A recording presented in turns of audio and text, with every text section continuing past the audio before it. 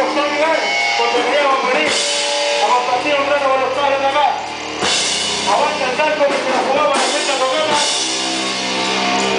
Y abajo la concentración con Chetumare. Abajo la luz. Y abajo todos los partidos políticos que están ganando el día.